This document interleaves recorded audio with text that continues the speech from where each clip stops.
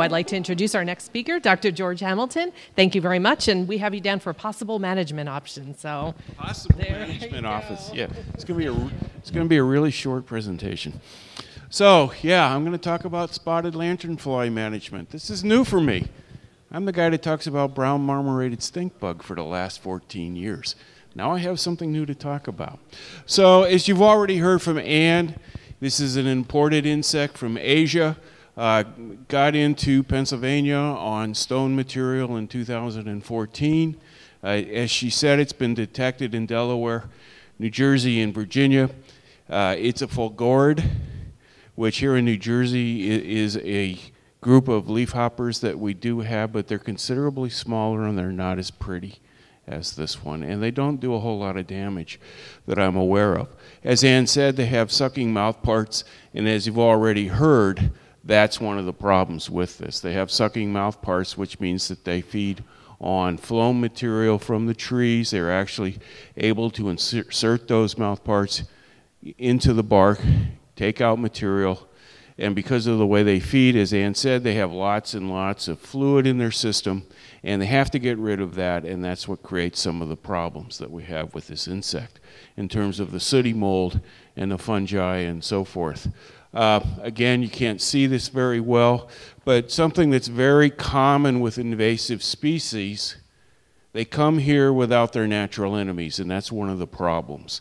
And that allows them to do what we call ecological release because there's nothing there naturally that is keeping them under control. And we are seeing this with spotted lanternfly over in Pennsylvania. And so what I've got here is just a couple of pictures. This is a tree in somebody's backyard. You can see the little play toy right there. And the whole trunk is just covered with spotted lanternfly adults, and the same here in this picture over here. Um, as Anne said, it has a fairly large host range. Right now, we've heard a lot about cultivated grapes, a little bit about tree fruit. Anne did mention that it does feed on a couple of hardwood species. And Tree of Heaven, which, as Anne said, is everywhere. Just drive along 78 coming over from Allentown, and it's on both sides of the roads for just about every mile. Okay, it's a, it likes disturbed areas. It lights lots of different areas, like growing wild inside my greenhouse on campus. And one of the problems with it is it's very difficult to get rid of. And so we're going to talk a little bit about how we how we might be able to do that. And in terms of preference, this is one of the trees that the adults prefer. Okay, um, going to be much too small for you to see, unfortunately, but this is just a listing of the tree species. I figure that since we were dealing here with nurseries and landscapes, we better talk a little bit more about some of the trees you might have in a landscape. Um, again, and I can't see it myself from over here, but it has things like birch trees on there. It's got hemlock on there. They feed on pines, they feed on oak, they feed on maple, they feed on um, black walnut. In terms of the fruit, they feed on apricots, peaches, apples, cherries, and, and, and whatnot. And, and um, even willow is in this list. So there is a lot of different things that they can feed on. Doesn't mean that they will be on those. And it may only mean that they'll be there temporarily during the growing season because like a lot of other hemiptera, and brown marmorated does the same thing, there's only a few hosts that they can spend their whole life cycle on. The rest of the hosts that they feed on, they have to move around at different times of the year because there's something missing from that plant they're currently feeding on and then they move someplace else to find it. Okay, I can't tell you what that is yet with the spotted lanternfly. I don't think anybody knows, but we know with say something like the stink bugs. Um, which can also feed through the bark of trees. Nobody knew that until a few years ago. Um, they're following the maturation of the seed pods or the fruit on the tree. That's pretty much what they're following. So we'll see what happens with, um, with this critter. Um, the main management program I'm going to talk about is actually what the Department of Ag in Pennsylvania has been doing. And they have an active campaign over there trying to get people to do the kinds of things that they want them to do. And we need to be thinking about this because I doubt there's anything out there right now that, and if we if we'd heard about it, we would have already uh, in terms of natural enemies that feed on this thing. Okay, now maybe there are, and maybe we'll find some, but right now I don't think that's the, the case.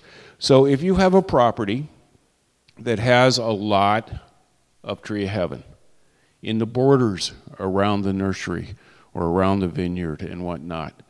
What I would suggest you do, and this is what the Department of Ag is suggesting, is that you cut those trees down. Okay? Now, we don't want you to cut all of them down. We only want you to cut down 90%.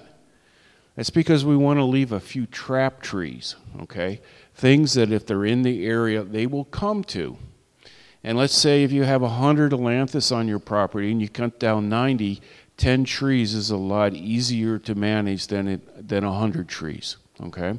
It'll concentrate them, and they're having some success with this over in, in Pennsylvania. Now, one of the things that you're going to need to do is treat the stumps unless you're going to dig them out. Has anybody ever tried to dig out the stumps of an ailanthus tree? It's next to impossible because they have all these runners. You just keep pulling and pulling and pulling, and you keep finding connections to more and more trees. So if you're going to cut them down, you're going to have to treat them. Uh, there are a couple of materials that are recommended. Uh, and again, dicamba is one of them, imazapyr is one of them, triclopyr, and glyphosate or Roundup. Okay, those are some of the herbicides that you can do. And again, uh, we want 10% of those trees left so that if they're there, they'll concentrate on those trees. And then the recommendation is to spray them with dinotefuran. Okay, it's one of the neonicotinoid materials. Um, it, what you, but what you need to do is make sure you use a formulation that has um, ornamentals on the, the, the, the labels. Okay, that'll keep us legal. We're allowed to do that as long as what we're going to treat is there the pest doesn't necessarily have to be there. Okay, so we can we can do that. And again, spray 10% of those trees when the um, insects are there. And the the other reason they're recommending dinotefuran is it's systemic, so it'll get picked up and transferred all through the tree, and it'll last uh, longer than a topical application. Now, if you have a site that doesn't have any tree of heaven, you're not completely out of luck if you have it there. There are some other things that you can do. Um, again, the primary thing is that only spray the trees if spotted lanternfly is present, okay? The last thing we want everybody to do is go out and start spraying all the trees. It's, it, if they're not there, it's not going to do any good, okay? Because I doubt we have something that's going to be around long enough um, to serve as a residual type of of application. So if they're there, uh, you can use again an insecticide labeled for use on ornamentals or the specific tree species that you're treating. Now, I'm not sure how many of you have looked at ornamental labels, but if you're in landscape business or you're a nursery, you have. And you know, sometimes they're very general and sometimes they're very specific in terms of what you can treat with that material. But if you're in, got the right tree species or ornamentals, you should be fine. And again, you know, if you're going to do this, follow all the label directions, okay? Especially if you're going to use the dinotefuran materials. Anne alluded to this uh, a little bit. Um, it's bee toxicity, okay? And your neonicotinoid materials now have special labeling They've got that new warning symbol, the diamond with the honeybee in the middle of it.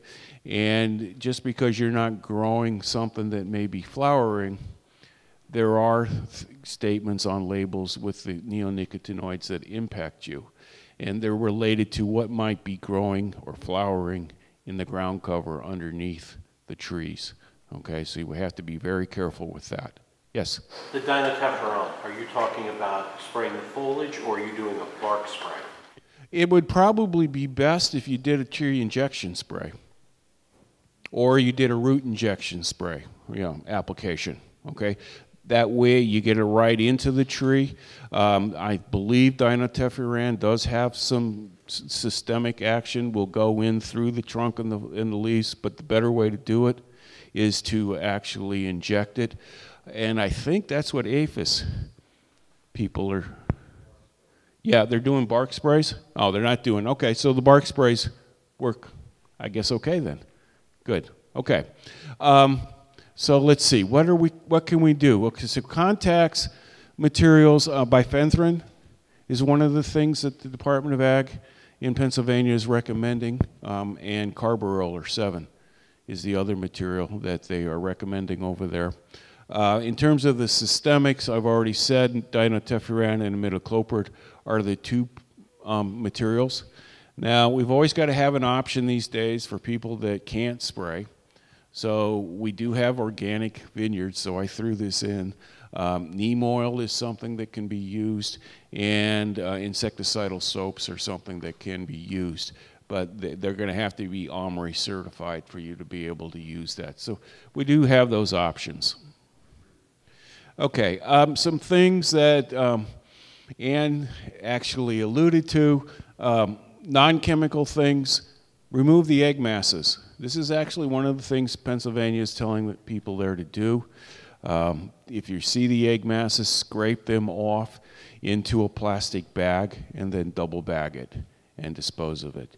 Uh, so that those eggs can't won't hatch and the materials get out of there. Or if you want to, um, and this is probably going to be really hard to do based on what I've seen of the, the egg masses, uh, put the eggs in alcohol or hand sanitizer. The alcohol, the, the sanitizer will kill the eggs is another way to go. Probably the easiest is to, is to scrape them off and bag them. Okay. Um, you can put them in your garbage. Yeah. You, yeah, I, I got to make sure that my that my, you know the guy from the Department of Ag agrees with me. But yeah, that's why you double bag it to try and you know make sure they don't get out.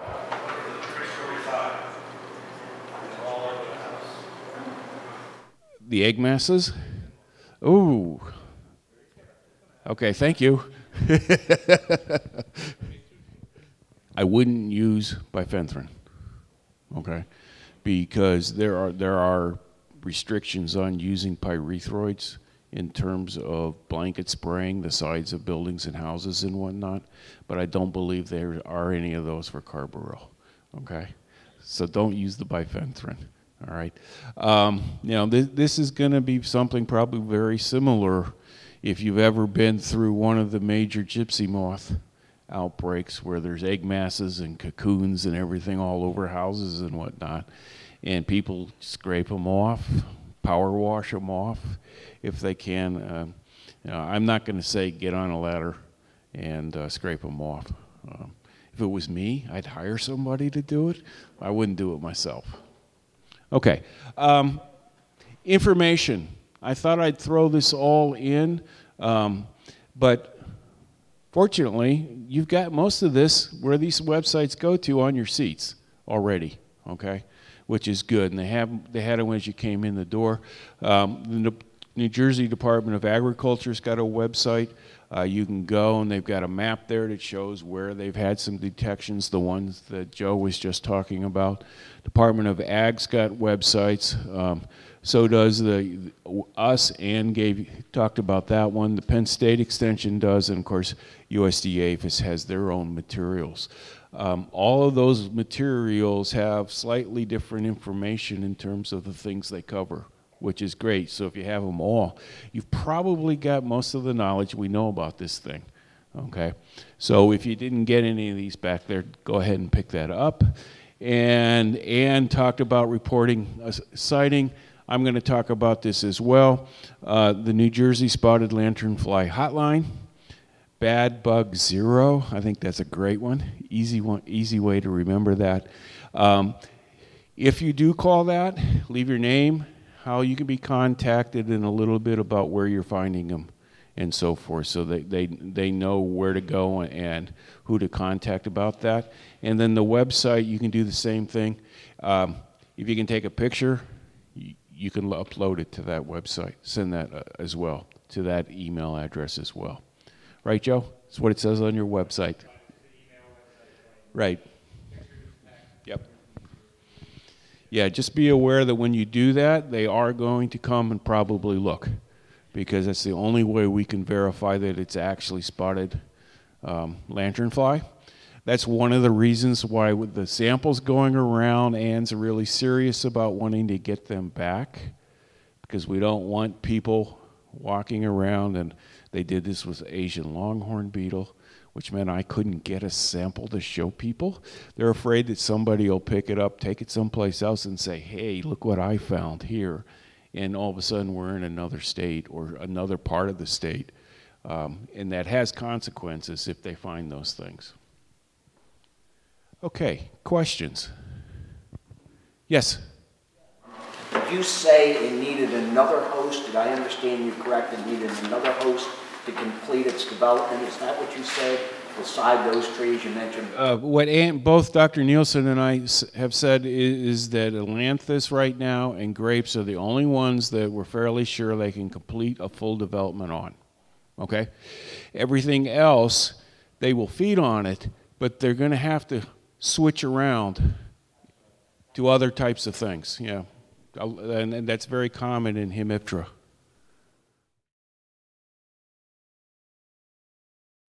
Oh, it was on the slide and I forgot. I'm sorry. How many of you remember tree banding with gypsy moth?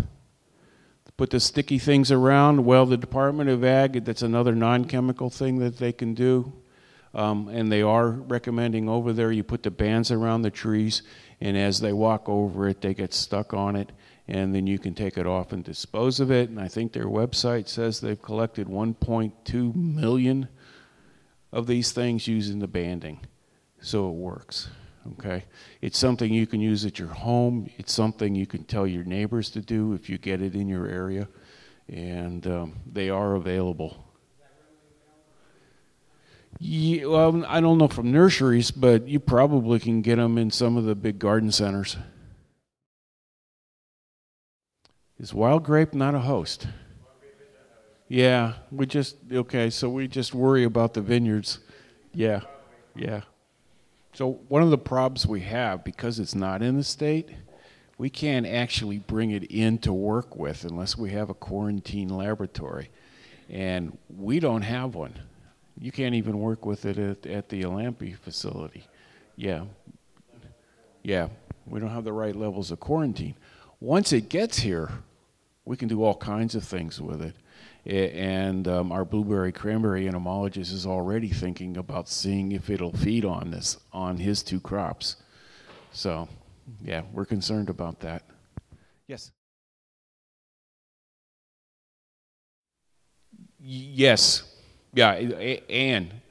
Anne has been over there. She's been talking with the people over there, Department of Ag and, and whatnot. That whole eDNA thing that, that she was talking about, that's been being done in collaboration with the Department of Ag. In fact, they're hoping to get some funding to, to get that all figured out from the Department of Ag over there. And then I'll come back here. Yeah.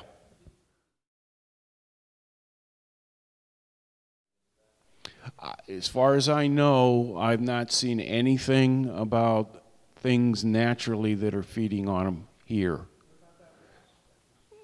that wasp wasn't feeding on the insect itself. It was, it was feeding on the, the fluid coming out of the wound. We see the same thing when the stink bug feeds on thin bark trees. You'll get the wasps coming and they're, they're after that fluid because it's high in sugar in the fall. In fact, that, one of the things that I would like to do, if we get it here, this is a pitch for those of you that have nurseries one of the things we did with the brown marmorated stink bug, they did this down in Florida, was to do surveys of the trees that were being grown at the nursery. And then they looked at the lineage to see how much of it was from Asia, whether it was a, a plant native to the United States and whatnot, and tried to track feeding preferences based on that. So that would, if once it, if it does get here, that and gets into a nursery, that might be something we could we could do. Okay? Yes?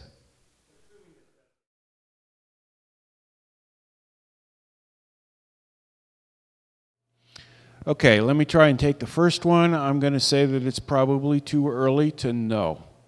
Okay? Um, because I don't, well, it hasn't been here long enough, and I'm not sure it's been in, you know, Korea, South Korea and whatnot long enough for them to get to a point where they can go through cycles. So usually what you see is a period of, of rapid expansion, which is, you know, what, it, we saw it with the stink bug. We've seen it with spotted wing um, uh, Drosophila, and we're probably going to see that with this. And then at some point, things will level out, and then we'll see periodic outbreaks. That would be my guess.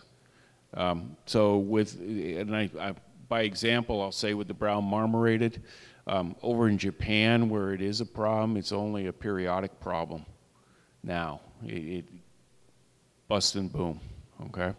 And if you've noticed here in the East, we actually, in a lot of places, including New Jersey, have lower populations. They've been declining since 2010, 2011. Although we've had some mild winters, so we may start to see them come back. But so far, it hasn't happened.